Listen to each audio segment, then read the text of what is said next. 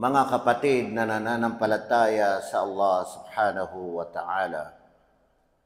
Itong pagayo ng mga kapatid ay kabilang sa pinaka kalugod-lugod sa Allah subhanahu wa ta'ala na gawaing pagsamba sa Allah subhanahu wa ta'ala napakalaking gantimpala na ipagkakaloob ng Allah at napakalaki rin ang mga kahalagahan ng pagayuno sa buwan ng Ramadan. Mga kapatid na nananampalataya sa Allah, isa sa mababanggit natin na napakainam na hadith na naisalaysay ni Abu Huraira kalugdan siya ng Allah. Kanyang sinabi, sinabi ng sugo ng Allah sallallahu alaihi wasallam na si Propeta Muhammad sallallahu alaihi wasallam. Qala Rasulullah sallallahu alaihi wasallam, Kullu amal ibni Adam yudha'af al-hasanatu ashru amthaliha ila sab'i mi'ati di'af. Ang bawat gawain ng angkan ni Adan. Bawat gawain ng anak ni Adan, si Adam alayhi salam, ay yudha'af, padadamihin ng padadamihin, dubli-dublihin ang gantimpala. Al-hasanatu ashru amthaliha ang isang kabutihan na gawain ay katumbas ng sampung mga kabutihan. Gantimpala na ipagkakaloob ng Allah subhanahu wa ta'ala ila sabay mi'ati di'af hanggang sa 700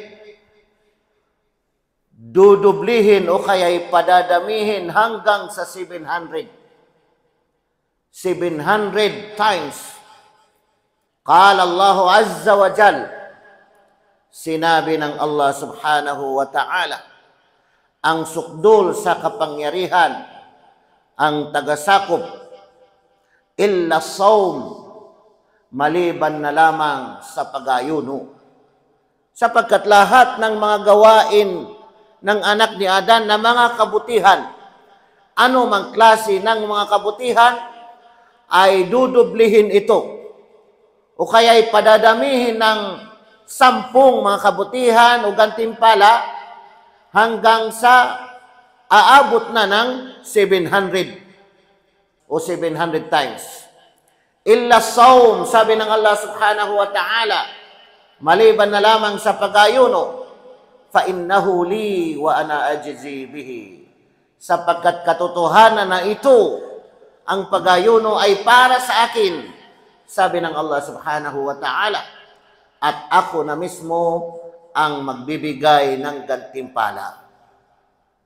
Tingnan ninyo mga kapatid na nananampalataya sa Allah, isang kabutihan, gagawing sampung mga kabutihan o katumbas nito, mga gantimpala, hanggang sa aabot na ng 700, na makikita natin mga kapatid, ang talata sa banal na Quran na sinabi ng Allah subhanahu wa ta'ala, Man jaa bil hasanati falahu ashru amthaliha. At ang sino mang magdala o gumawa ng isang kabutihan ay falahu ashru amthaliha ay pagkakalooban siya sabi ng Allah subhanahu wa ta'ala ng sampung katumbas nito kabutihan gantimpala na ipagkakaloob ng Allah subhanahu wa ta'ala sa iba pang talata sinabi ng Allah subhanahu wa ta'ala مثل الذين ينفقون أموالهم في سبيل الله كمثل حبة أنبتت سبع سنابل في كل سنبلة مئة حبة والله يضاعف لمن يشاء والله واسع عليم Napakaliwanag ang talatang ito mga kapatid na nananampalataya sa Allah. Masalul ladhina yunfiquna amwalahum uh, ang nakakatulad o kahalintulad ng mga taong ginugugol nila ang kanilang mga salapi, ang kanilang mga kayamanan. Fi sabilillah, alang-alang sa Allah subhanahu wa ta'ala, alang-alang sa landas ng Allah subhanahu wa ta'ala, kamathali habbatin ambatat sab'a sanabil, katulad ng isang butil, isang butil, mga kapatid, na tumubo, ambatat, tumubo sa sanabil, na mayroong pitong mga sanga. Saba sanabil. Fi kulli sumbulatin mi'atu habba. At sa bawat sanga nito ay isang daan na butil. Mayroong isang daan na butil. Ibig sabihin ay 7 times 100 ay 700. Na yun, yung narinig natin, o nabanggit natin na hadith ni Propeta Muhammad sallallahu alaihi wasallam, al-hasanatu ashru amsalha ila sab'i mi'ati. Ang isang kabutihan ay sampung mga katumbas nito na mga kabutihan o gantimpala hanggang sa padadamihin ng ibig sabihin ay aabot na ng 700. Kama sa lihabbatin ambatat sab'a sanabil fi kulli sumbulatin mi'atu habba. Wallahu yudhaifu liman yasha at ang Allah Subhanahu wa Ta'ala ay padadamihin pa niya para sa sino man kanyang naisin. Wallahu wasi'un alim. At ang Allah Subhanahu wa Ta'ala ay higit na malawak uh, nagbibigay ng kanyang awa, biyaya at higit na ibig sabihin ay uh, maalam.